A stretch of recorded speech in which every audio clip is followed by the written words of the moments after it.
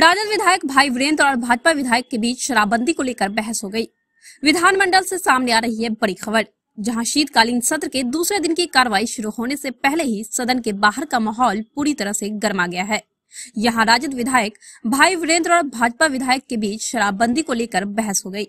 इस बहस का परिणाम यह हुआ कि भाई वीरेंद्र पूरी तरह से आग बबूला हो गए और उन्होंने गाली गलौज शुरू कर दी।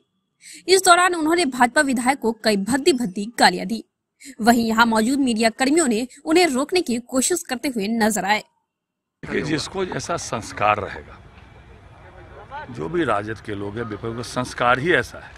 तो संस्कार ऐसा है तो ऐसा परिलक्षित उन लोग का हो जाता है। इन लोगों ने जैसे पंद्रह सालों में बिहार को लूटा है ज़मीन की सत्ता थी अपहरण उद्योग चल रहा था। कितने लोग बिहार को छोड़ के चले गए। अब इन लोगों को वैसा मौका नहीं मिल रहा है।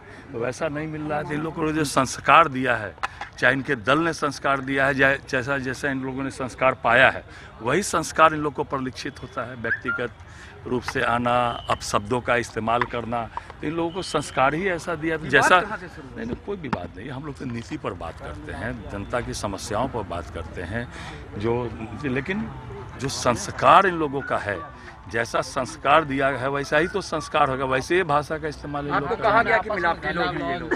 हाँ? मिलावट करते हैं क्या करेंगे जिन लोगों ने राज्य को लूटा है? अपहरण उद्योग जिन लोगों ने चलाया है जिन लोगों ने बिहार के को गर्त में मिला दिया वो लोग ऐसी ही बातें कर करें अच्छा आप लोग यहाँ पर पब्लिक फिगर हैं यहाँ पर इस तरह के सदन परिसर में इस तरह सही है। क्या लगता है कितना नहीं नहीं नहीं आपत्तिजनक शब्दों का इस्तेमाल करना? एकदम गलत है ये एकदम गलत है। वो देश बिहार की जनता देख रही है इन लोगों को कि इन लोगों ने जैसा जो है ये लोग शब्दों का इस्तेमाल करते हैं वैसे बिहार की जनता देख रही है और बिहार की जनता इसका न्याय करेगी कि कैसे शब्दों का ये इस्तेमाल करते हैं।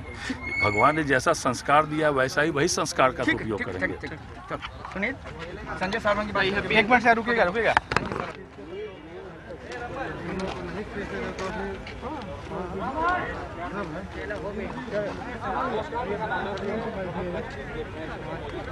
क्या क्या बोले सर? थोड़ा सुने नहीं। एक तो संस्कार बोले कि संस्कार है। लोग का संस्कार ही ऐसा है। इन लोगों ने पूरे बिहार को लूटा है अपहरण रोग चलाया है। लोगों ने कितने लोगों को यहाँ से पलायन किया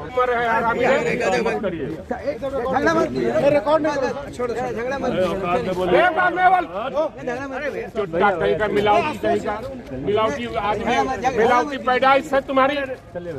मिलावटी पैदाइश है तुम्हारी। चुप।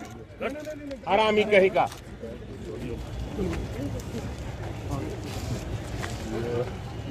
तेल मिलावटी करके बेचता है साला कमाता है। हमको कम करेंगे मारे हो जाएगा।